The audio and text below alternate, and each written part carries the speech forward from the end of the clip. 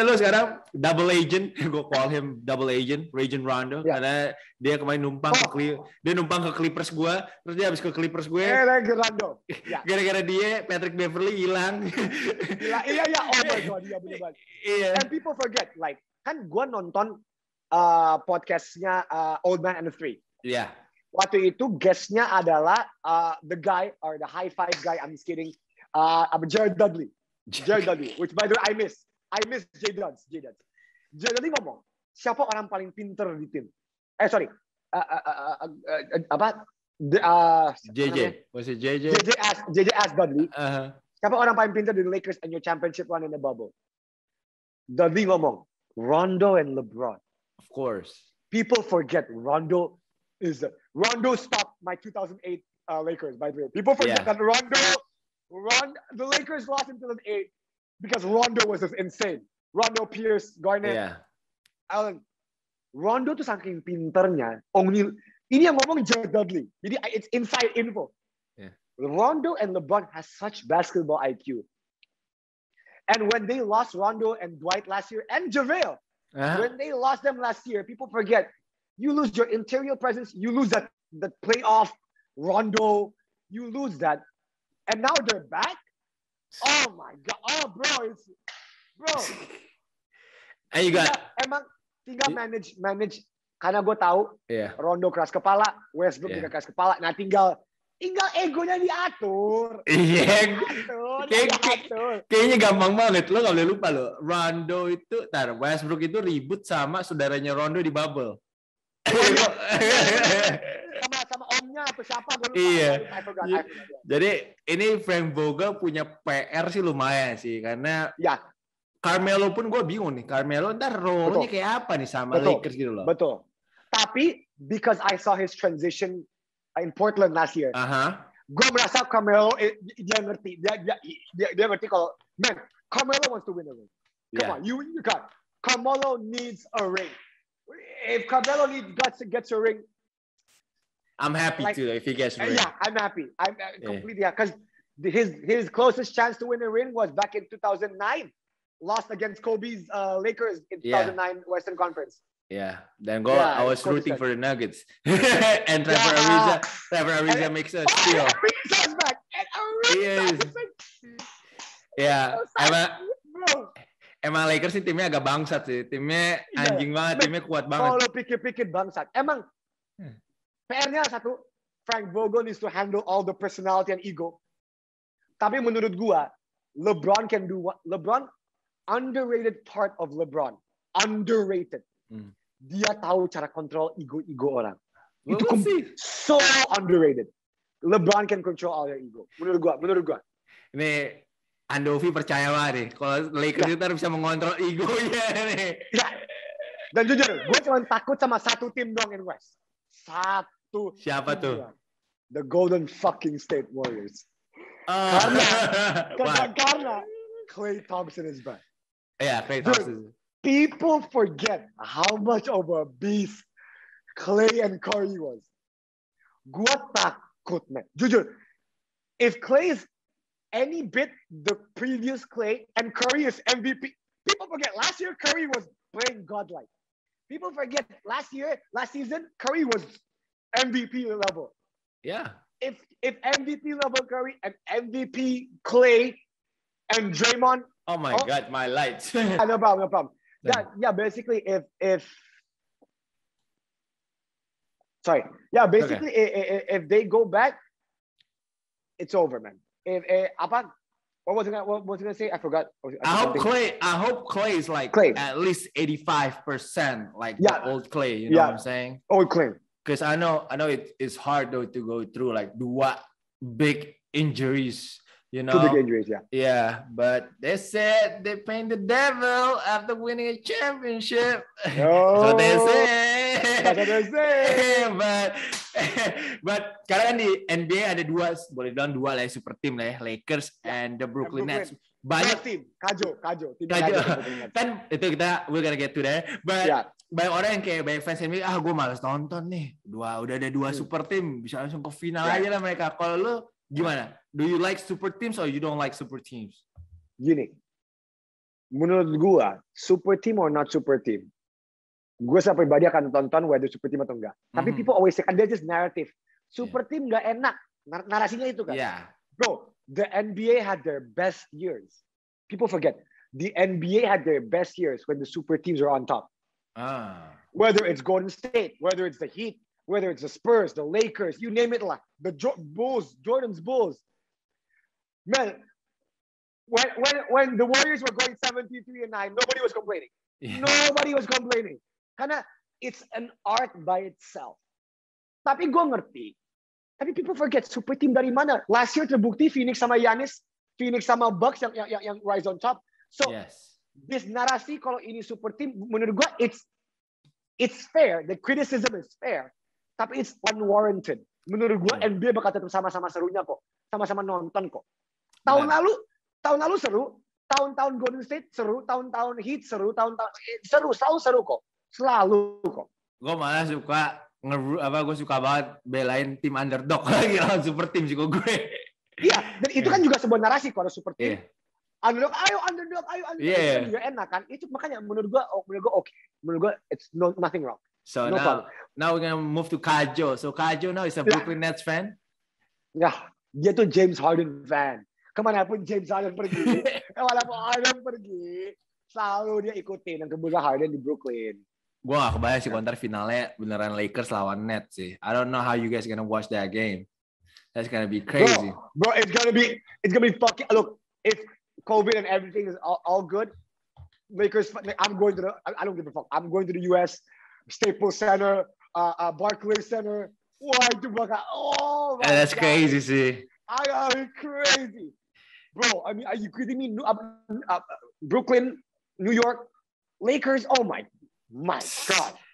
Itu gila sih rivalry-nya. Dan lo kalau lihat sekarang timnya Brooklyn Nets ya ada probably like the best scorers in the NBA. Yeah, ada Kyrie, Best. James Harden, ada KD. KD. Do you think automatically apakah mereka akan lolos ke NBA Final if they are healthy? Gini, sorry. I love Giannis and Bucks. I love them. Giannis, and the reason was the re- reason why I won so much money in last year's NBA Finals because I bet on them so big and they won.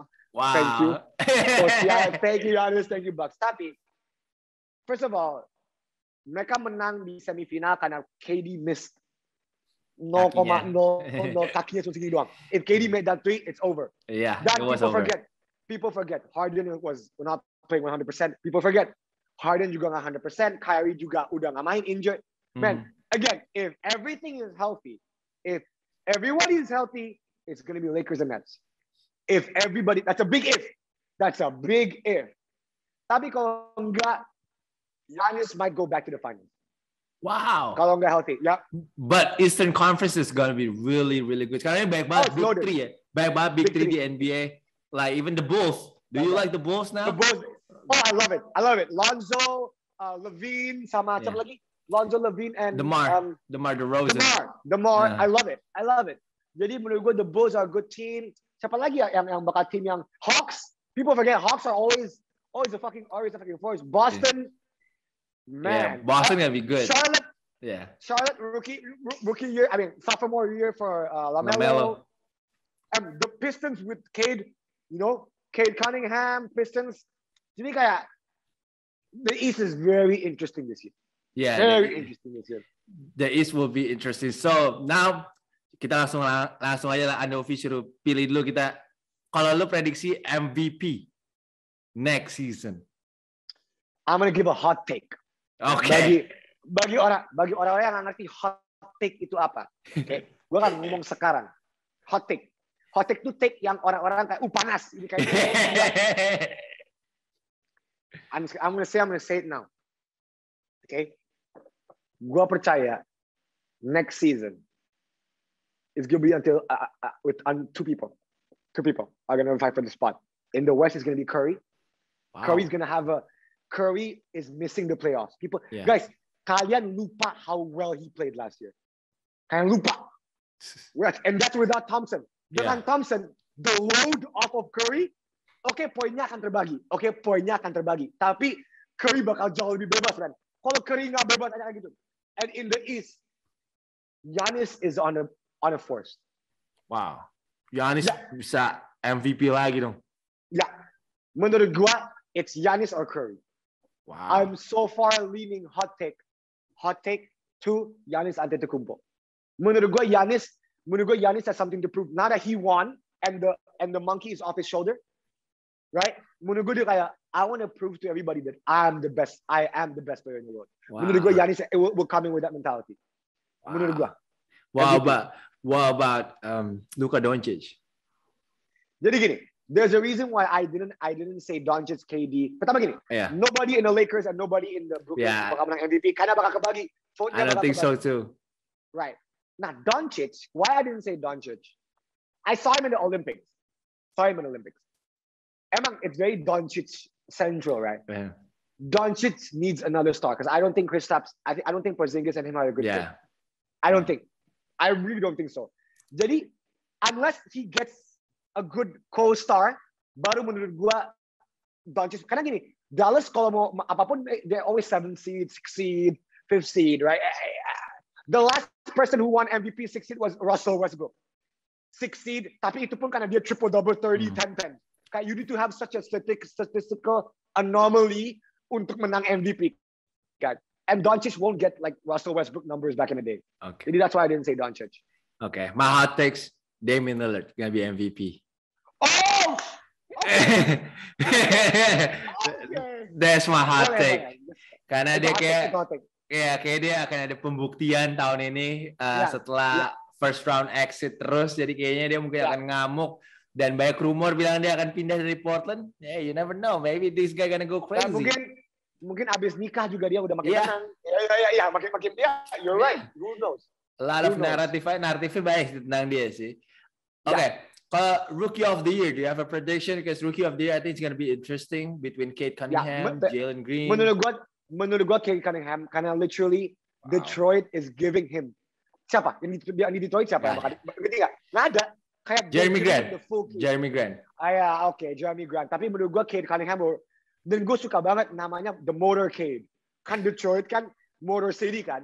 Nama dia Cade. Motorcade pas Eh. banget. Menurut gua ini pas. Menurut gua pas banget. Karena menurut gua Rookie of the Year itu bukan soal of course soal skill. Tapi soal of course tapi soal lebih ke siapa yang dikasih main.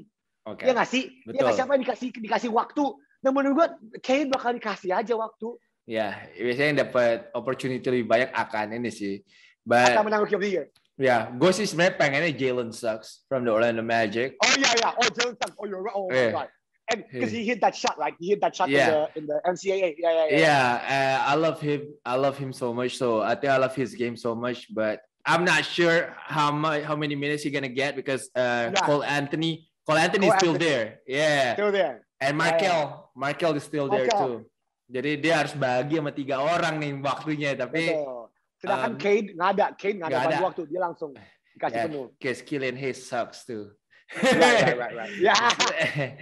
so I think Kate Oh. gonna yeah Kate sih front runner sih and then the second one of course Jalen Green lah. ya. Tuh, lu kan waktu itu Summer League, lu di, lu di Vegas. Yeah, I was there. Wh- Which of the rookies did you meet again? Because I saw all your posts. Gue Jalen. Sucks yang gue ketemu. Jalen yeah, yeah, yeah. By that's- way, guys, by the way, guys, anybody follow Rocky on Instagram? I'm sure anybody who's watching Trash Talk already Yeah. follows him, but dia itu kunci gua untuk lihat orang Indonesia lagi sama siapa aja. I pas di Summer gue kayak anjing. Gua enak gue mau banget." bikin gue mau bikin rekor tapi gue gak tahu apakah rekornya ada yang peduli atau enggak gue pengen bikin rekor gue paling banyak selfie yang pemain basket sih di Indonesia Itu dia. Itu. Bro, lu pasti menang, lu pasti menang. itu Kalau adalah nggak lu, kalau nggak lu Helmi Yaya zaman dulu. ya karena gue gue Helmi Yaya zaman dulu. and of course Om Helmi gue masih working on this man I'm working on getting him on my show too gue udah Oh iya WhatsApp iya iya. iya. gue udah WhatsApp dia beberapa kali cuma dia dia sibuk banget sih Right, right, right, right, of course. Cause gue gak tau if you know or not, dulu di SCTV itu tahun 96-97 itu mereka kalau live di pinggir lapangan loh. Oh wow. Yeah. So I know, I know Om Helmi was very big, but I didn't watch Yeah. basketball through SCTV and all that stuff. Yeah. Yeah, I didn't watch it. Gila itu gila banget sih menurut gue. Indonesia udah gak bisa gitu lagi, men. Yeah, cannot nggak bisa lagi. get that bisa. anymore. Oke, gila banget No, sih. no way. Uh, so before I let you go, Yeah. let me hear you top five Lakers of all time versi Team. Andovi. Oh, oh, oh. No, player. players. Ya, versi Ando Vida Lopez. Oke, guys. Ini guys, number one udah pasti Kobe Bryant. Udah pasti udah ada not even a debate. Oke. Nah, debate-nya itu 2 sampai 5 nih. Oke. Oke. Lu ngomong Laker kan? Lu bukan ngomong Iya. player, lu ngomong Laker. Nah, kalau dalam kategori Laker, abis Kobe harus Magic Johnson. Oke, cool. Harus. Good pick. Kenapa? Oke, kenapa gue nggak taruh Kareem sebelum Magic? Karena Kareem did play with the Bucks before he played with the Yeah. Lakers. Jadi gue ngomong fully career ya, karena Ma- Magic played all his life with the Lakers, Kobe played with all. Jadi tahu Kobe, Magic. Nah, tiga empat lima susah nih, right? Tiga empat lima is a toss up between Kareem, Shaq, and Wilt. wow. I don't even remember Will play for the Lakers. Yeah, people people forget Wilt won his championship two two times in the Lakers. Mhm. Okay, of this Jerry West, the logo himself. Oke. I don't ya. shit, shit. stres deh, sudah pilih top 5, and, and, and then there's Gasol. Oh my god. Oh. ini ini pertanyaan kesukaan netizen Indonesia soal. Jadi gue harus tanyain. Okay. Kobe, Magic, played all his life, 20 years. Magic, 16 years. Magic! Magzad! okay. Kobe, Magic. Because of my personal reason, because I grew up watching him, Shaq, It's okay. because Kobe and Shaq, unstoppable, do- Yeah. most dominant one-two punch of all time. I would have to say Kareem. Number four, Of course. and listen, and then number five, I have to give it to the logo himself, Jerry Jerry West. West. Wow. He's the NBA logo. The NBA logo. Jadi LeBron itu. nggak kepilih nih LeBron. Lebron, sorry, karena, karena lu ngomong Laker. Karena lu ngomong Laker. Kalau lu ngomong top five players who played for the Lakers, nah itu, i- i- itu, itu bakal masukin LeBron. Iya, itu different different kategori.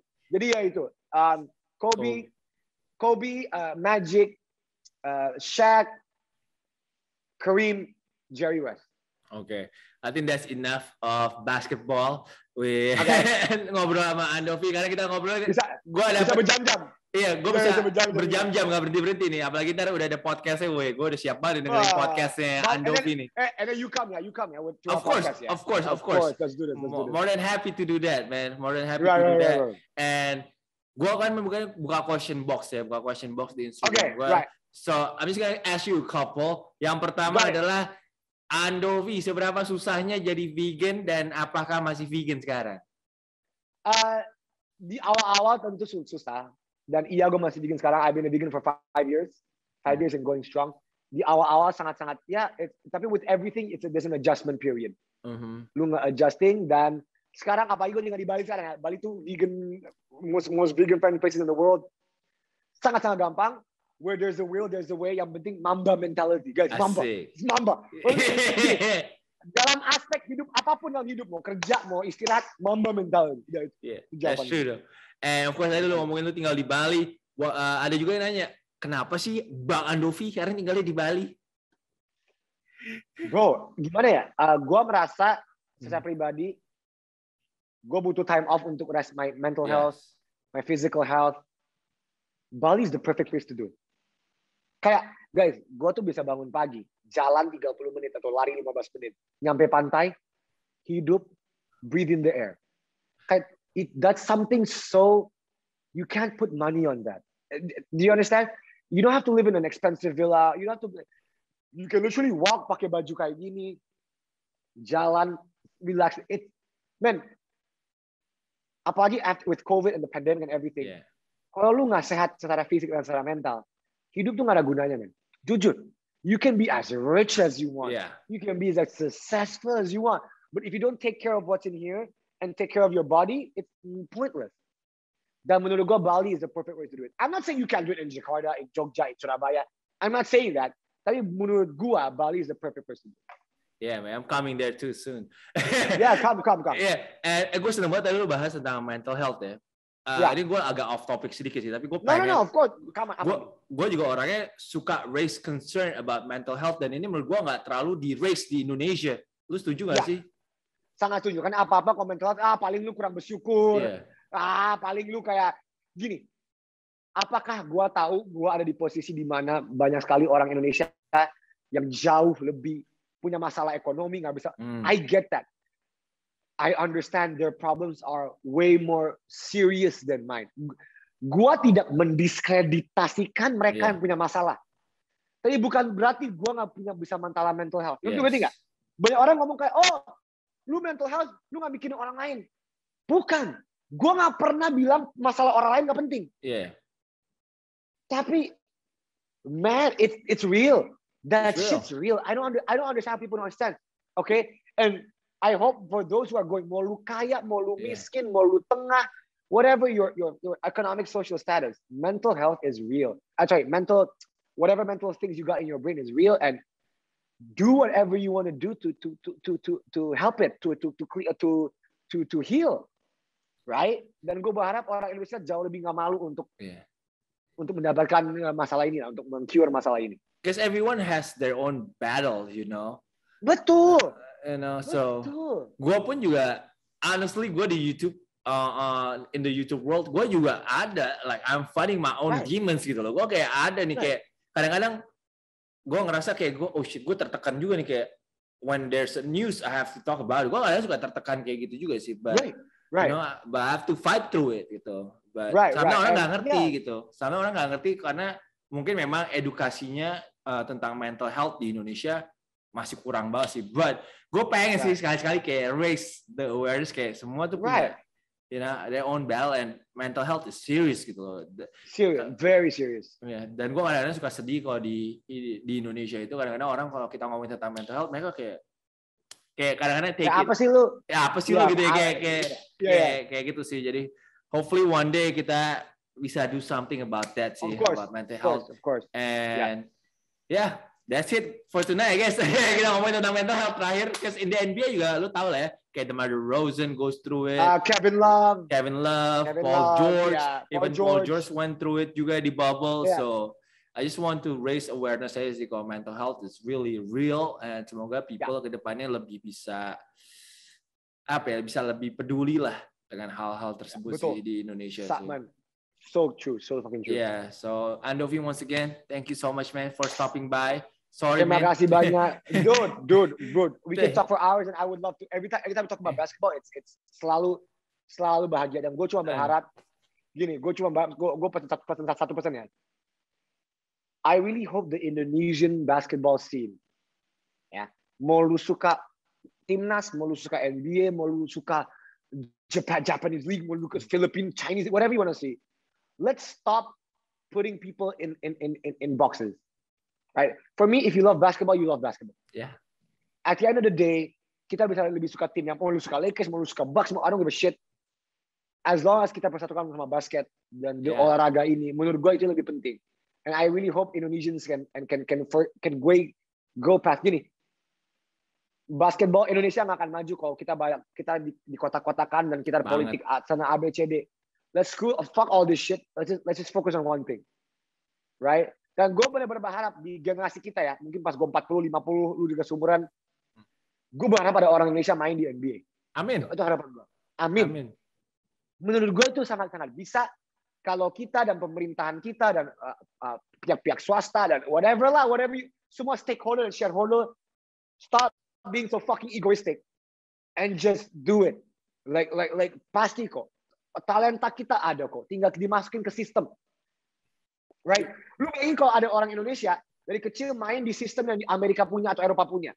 Bisa banget. Kayak, bisa. Kayak ah, gitu kita ada satu harapan sih, ada satu harapan kita namanya Derek Michael. Ya Uh, Michael. Ya, Ya, ya, ya. dia ada di NBA Academy sekarang ini di Australia, which is Ya, good itu udah Ya, Good udah, step udah, banget. Udah, oh, good banget, banget. Iya, Derek udah- Michael, listen, Derek Michael is giving hope to other young Indonesian Yes. as well. Man, please, Derek Michael, semangat terus, bro. Semangat Iya. terus, man. And hopefully gue cuma bisa kasih dia moral support aja sih everyday kayak gue bilang ya lu take it day by day lah pokoknya gitu loh. And learn something new every day, you know. There you go. Uh, gue cuma bisa kasih itu. That's, ya gue bisa cuma segitu doang, cuma bisa kasih semangat Dan doang. Derek pokoknya, tapi kalau kalau lu di draft di NBA, Eh. Gue orang pertama, gue sama Rocky bakal front front court seats. yes, of course. Wah, orang gila, pasti. Of course, gue gue langsung beli jersinya juga, tenang aja. Pasti. Uh, so gue sih benar-benar berdoa banget sih kalau si Derek Michael ini bisa progresnya bagus karena ini opportunity yang dia dapatkan nggak semua anak Indonesia bisa dapat nih latihan Bisa di masuk Australia. NBA Academy. Uh, Iya, uh, iya, iya. Oh, gila, Menurut gue, uh, hopefully he will take full advantage of it and I believe that dia akan ke Amerika sih tahun depan untuk main NCAA sih. That's what I Amin. believe. Amin, yes. Amin. But-. But like you said, ngomongin tentang ego, uh, Ya. itu itu panjang sih gue bisa omongin. Tapi yang pasti, gue cuma bisa berdoa aja sih. I can only pray for the best man in Indonesian Right. basketball because I'm not I'm not really involved in it. Other, other than gue kayak cari talent talent muda doang. Iya, iya. But gue sih berharap banget sih memang. Gue juga sempat komen di Instagramnya uh, Kajo tentang ngomongin revolusi. Iya, Kayak, Revolution Entertainment. Iya, iya, iya. ya gue juga tulis soalnya. I think we need this in Indonesian basketball We need. too. Of yeah, course. so of course. Go- kita bisa ngomong podcast lain soal ngomongin. bisa, bisa Aduh, banget. Because um, of course the talent, like you said, the talent is there. Kita Is there. punya berapa ratus juta masyarakat uh, orang di Indonesia. Of course we can find like two or three that yang really really jago Bisa. banget sih. So bisa. gue gue percaya sih uh, Indonesia akan punya pemain NBA in 15 years. Amin. Amin. Gue percaya banget. Amin. Gue percaya banget. Enggak, gue Uh, percaya. uh, karena memang teknologi, sports science, semuanya udah maju banget. Uh, So I believe that Indonesia udah mulai bisa catch up, udah mulai bisa catch up sekarang ini. Jadi, I believe yeah, 15 years. I think that's a good um, amount of time that That's a good timeline. That's a yeah, good timeline. good timeline lah untuk bisa masuk ke NBA pemain NBA, uh, pemain Indonesia. But once again, Andovi, thank you so much, man. Terima kasih banyak Padilla. Thank you. Yeah. Rob. Thank you. Gue tau lu udah pensiun dari YouTube, tapi untungnya masih mau aku diajakin collab.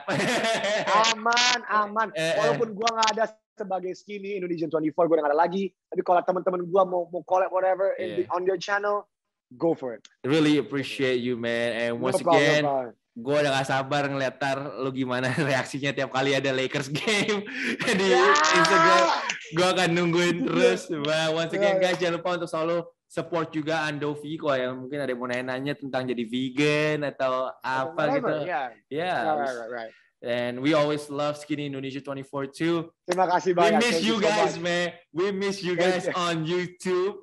Apalagi Yeah, rap, yeah. rap battle, rap battle is like one of my favorite, one of my favorite segment di situ. Thank you, thank you. So thank you. yeah, and then gue sebenarnya juga seneng sih dengerin lo ngobrol sama Kemal, you know, ngomongin NBA. Yeah, yeah, yeah. We miss Yeah, that good too. times, good times. Yeah, good times times. sih. And bumping to you guys in a random NBA game sometimes. Yeah, NBA yeah, yeah. all time. And so, so uh, I'm gonna go to Seattle one day, right? Yeah. And we're gonna go to Bali and we're gonna chill Yeah, together. Okay, of pasti, course, pasti. pasti. So guys, once again, thank you so much for everybody that udah dengerin kita ngebaca betul, tentang NBA, ngebaca Yeah. tentang NBA. We're like probably like 40 minutes, I guess. I love it. I love it. yeah, I love I, it. I love it too. So hopefully you guys enjoy today's uh, podcast, uh, like mini podcast with uh, Andovi. Right. Uh, this interview, Trash Talk. So thank you so much again for watching. Jangan lupa untuk like and jangan lupa untuk comment and share your hot takes. Share your hot takes Yeah. in the comment section. We gotta wait for that. And yeah, we'll see you guys again on the next video. Peace out.